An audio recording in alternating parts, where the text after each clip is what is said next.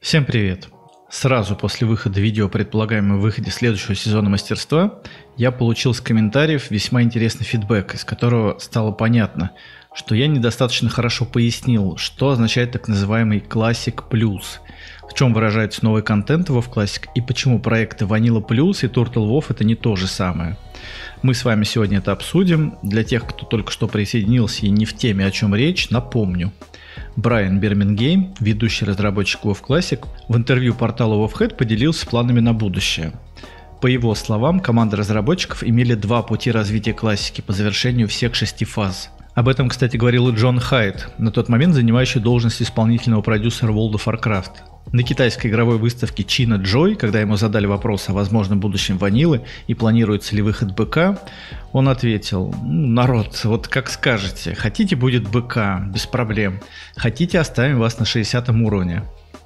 Тогда из-за сложности перевода, наверное, я не уловил суть этой фразы. Что значит оставим вас на 60 уровне? Возможно, это трактовалось как продолжение поддержки классических серверов по завершению шести фаз, в том виде, как мы наблюдаем на серверах вечной классики. Но после интервью Брайана все стало более-менее понятно. О чем рассказал Брайан, узнаем после того, как вы узнаете, как решить проблему постоянной нехватки золота. Исправить ситуацию, конечно же, поможет elfmoney.net.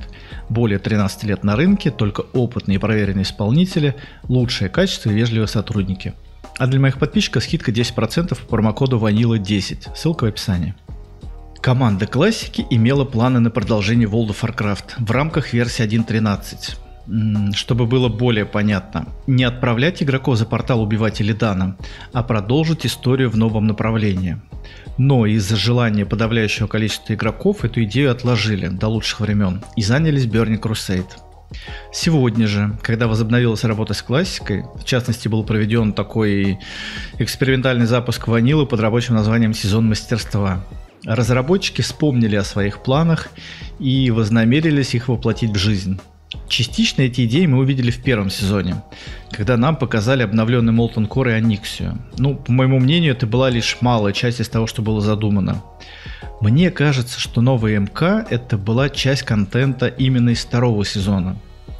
Почему я так думаю? Ну, наверное, из-за того, что когда Blizzard запустили первый бета-тест огненных недр, подобных изменений мы не видели – была лишь небольшая, едва заметная перескриптовка части боссов, которая не особо-то выделялась на фоне оригинального МК. Если не ошибаюсь, был добавлен взрывающийся моп угара, землетрясение, что-то там у Рагнароса. Игроки принесли первую версию МК где-то там за час и остались недовольны. Это что, все? Это вот то, чем вы хотели нас удивить, Blizzard? И вот тогда Blizzard расчехлили свои отложенные наработки. Уж слишком быстро они объявили о втором бета-тесте, в котором Molten Core пристал в том виде, в котором мы его увидели на сезоне мастерства. На все про все ушло примерно два дня. Вы верите в то, что новые механики боссом нарисовали и сбалансировали за пару дней?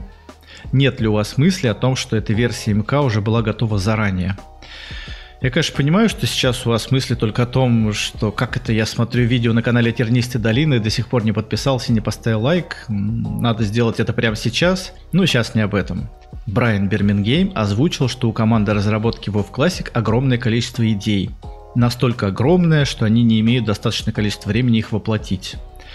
Но откладывать надолго они их не собираются. Непосредственно при работе над новым сезоном классики Blizzard постараются воссоздать новую версию World of Warcraft. И это уже будет не копия игры 2005 года. Концепт классической версии World of Warcraft вышел очень даже неплохой. Даже спустя 15 лет и графика, и механика ванилы выглядит совсем неплохо. Я бы сказал, очень неплохо. Классика привлекает своей простотой и незатейливостью. Тут нет огромного количества нововведений актуальной версии.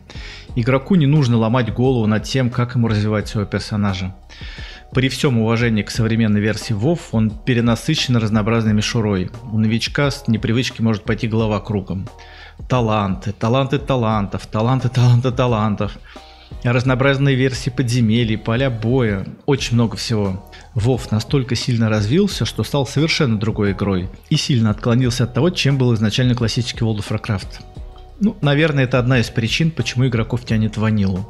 Возможно, кто-то хочет отдохнуть от всего этого, побегать по первоначальному Азероту, попинать боссов-манекенов. Ну, почему нет? Но, как говорится, любая игра без развития так или иначе умирает. Blizzard это прекрасно понимает, поэтому WoW и остается самой лучшей ММО до сегодняшнего дня. Ну, а как быть с классикой? Как ее развивать? На самом деле, при создании World of Warcraft у Близов еще не была в планах модели развития посредством крупных дополнений. Вполне возможно, эту модель они взяли из-за финансового вопроса. Ну согласитесь, раз в 2-3 года стричь бабло на продаже крупных патчей это довольно удобно. Но первоначально при планировании Азерота они оставляли какие-то полигоны для последующего завоза на них контента по мере готовности. И если бы не идея, о которой мы говорили ранее, Азерот мог бы обрасти различными дополнительными локациями, подземельями. Сейчас, если взглянуть на законченную версию WoW Classic, мы эти места можем легко найти. Ну, что, например? Конечно, первое, что бросается в глаза, это Хиджал довольно приличная по размерам локация, на которую можно было бы завести приличную долю контента. По задумке, в Хиджале должны были находиться остатки Легиона, которые не добили после гибели Архимонда. Там же предполагалось разместить и логово Аниксии, которые из-за невозможности разместить в закрытой зоне перенесли в болото. Тут же возле логова, скорее всего, должны были быть приспешники стаи черных драконов. Навряд ли Blizzard восстановит данный сценарий, но заселить Хиджал вполне могут. В ту же самую пещеру можно было бы заселить ну, какого-нибудь другого дракона. Далее перенесемся в Ашару. Эта локация по скудности контента, наверное, стоит на самом первом месте. Заселяли ее также в спешке, и многие идеи не завершили до конца. Ну, например, фурболги. Этот народ плотно заселяет множество локаций. Кроме Ашары, в достаточно большом количестве фурболги встречаются в зимних ключах. Но тема этого дикого народа раскрыта очень плохо. Нет ни одного подземелья с их участием, не говоря уже про рейды. На карте Мецена есть как минимум парочка отсылок к подземельям фурболгов. Тут же в Ашаре восточное побережье просто кишит нагами. Как нам уже известно из последующих дополнений, наги это эльфы, бывшие жители Эльдрет Алас, застигнутые врасплох великим разломом и ставшие часть договора с древними богами. Как раз на этом самом месте. Насколько мне известно, примерно где-то в этом районе планировался расположиться дворец Ашары – я точно знаю, что в файлах клиента 1.12 есть его незаконченная модель. Единственное, только неясно, где он должен был стоять. Да, потом мы его увидели в Катаклизме, в Подземелье Источник Вечности, а после в битве за Азерот, ну, тем не менее, познакомиться с Ашарой и ее приспешниками игроки могли и в рамках классической версии. Далее, в классической версии большое количество организаций плохо раскрыто к сюжете, который можно было бы развить.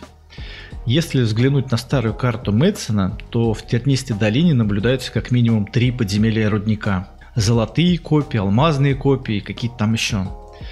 По всей видимости, делами там могли заправлять либо торговая компания, извечные враги картели хитрой шестеренки, либо пират Кровавого Паруса. И даже если пираты тут ни при чем, ну так или иначе они могли заселять какой-либо остров, куда игроки могли отправиться поставить точку в этом вопросе.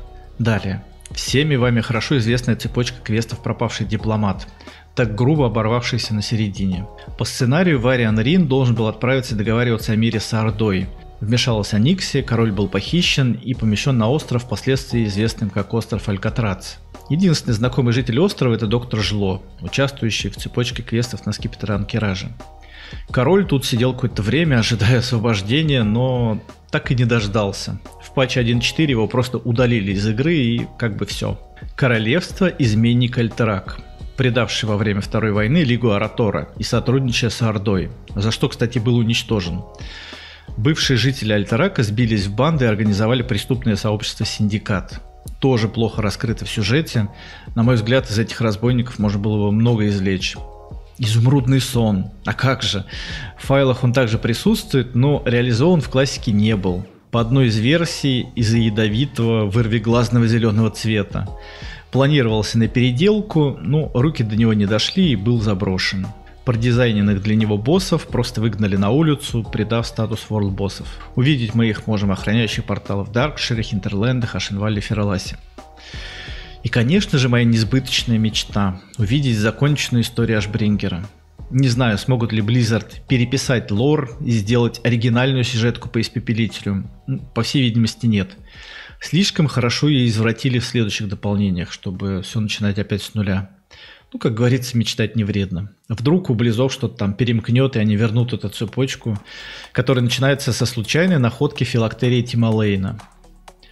Как видите, потенциал у классики большой. Можно начинать с любого угла. Для этого, кстати, не обязательно перелопачивать старые рейды. Хотя, если взять опыт инстов катаклизма, то идея не такая уж плохая. Переделанные мертвые копии выглядели в принципе годно. Classic Plus — это не просто переделанные инсты таунта паладина. Это гораздо более масштабный проект.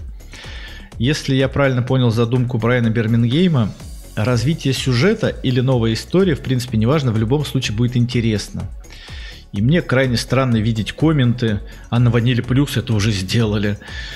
Как бы команда сервер над ним не постаралась, это все та же старая ванила. Перескриптовные боссы это не новый контент. Новый контент это куда более масштабные работы. И в рамках клиента 1.12 тяжело развернуться.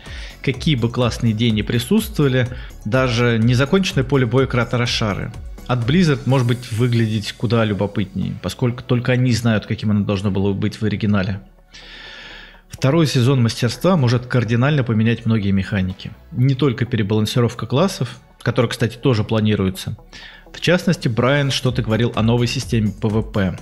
Что это будет, пока не ясно. Ну, как будут какие-то дополнительные детали, обязательно сообщу. Поэтому не забывайте подписываться на канал и удачи!